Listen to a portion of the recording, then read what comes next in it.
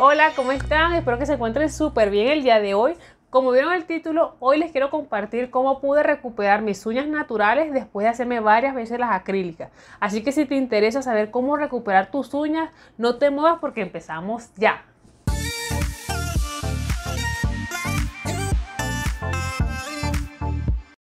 Bueno, les quiero comentar cómo eran mis uñas antes de hacerme las acrílicas y mis uñas eran unas uñas sanas, normales, sanas. No eran espectaculares ni súper largas. A veces me crecían, a veces se me partían o simplemente las mantenía muy corticas.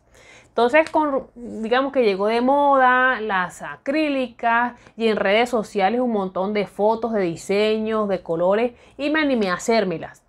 Digamos que la primera, segunda y tercera vez me quedó espectacular la uña y me gustaba porque el color se quedaba ahí, no se partía, hacía todo, pero no se me partía la uña para nada. Entonces me sentía feliz con mis uñas.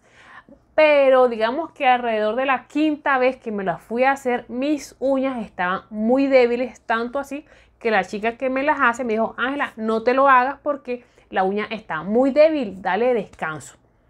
Hice eso como por dos semanas esperando que la uña se recuperara porque tenía en mi mente volvérmelas a hacer.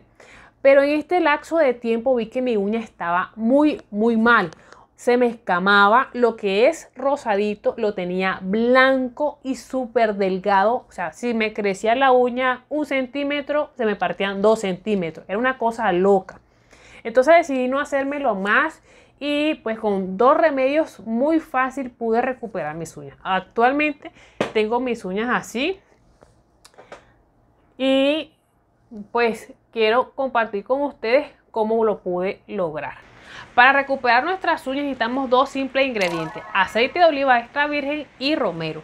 En una botellita de vidrio con su tapa vamos a ponerla por la mitad en aceite de oliva y el resto vamos a llenar todo, todo, todo de romero. Todo el que nos pueda entrar ahí lo vamos a poner.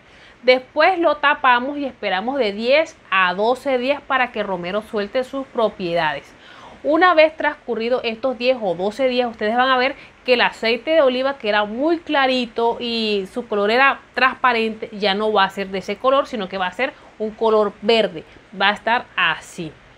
El olor, eh, obviamente, va a oler a romero intenso que es un olor que no es desagradable, es un olor muy rico y pues como les mostré el aceite va a estar de este color.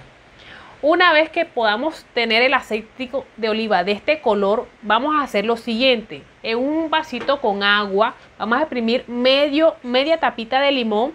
Allí nos lavamos las uñas como por alrededor de un minuto, no más. Después nos las secamos y con el aceitico de romero que hemos preparado 10 o 12 días antes, vamos a hacer lo siguiente.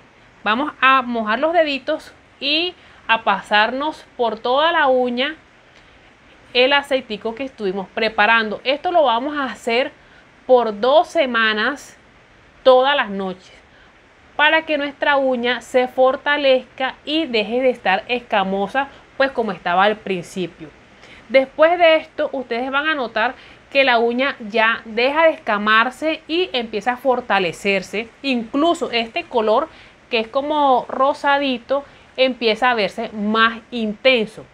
Otro datico que noté, normalmente pues antes de hacerme las acrílicas, esta partecita de las uñas que son blancas no la tenía tan tan blanca como ahora.